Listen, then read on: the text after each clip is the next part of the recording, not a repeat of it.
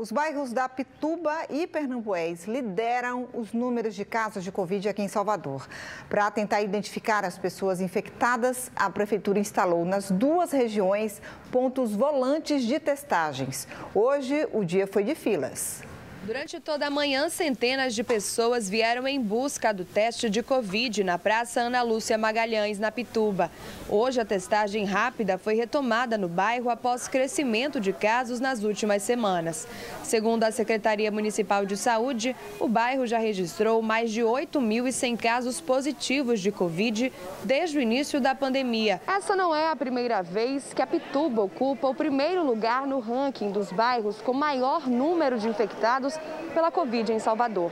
Foi aqui, inclusive, que as testagens começaram a ser feitas há quase dois anos. O segundo lugar do ranking é ocupado atualmente por Pernambués, que conta com mais de 7 mil casos confirmados da doença.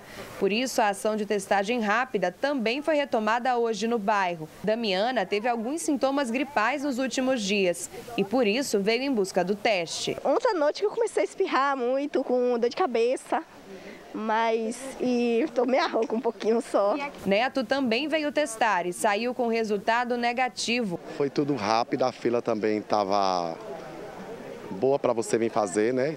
Tem bairros aí que tá muita gente. Fechando a lista dos cinco bairros com registros elevados de Covid-19, o terceiro lugar é ocupado por Brotas, seguido por Itapuã e Fazenda Grande do Retiro. Os testes na Pituba e em Pernambués podem ser feitos diariamente, das 8 da manhã até 1 da tarde. Em cada local serão feitos 200 testes todos os dias. Mas, além destes locais, o exame pode ser feito ainda em 40 postos de saúde espalhados pela cidade. Perto da sua localidade onde você reside, tem sempre uma unidade fazendo esse mesmo teste lá.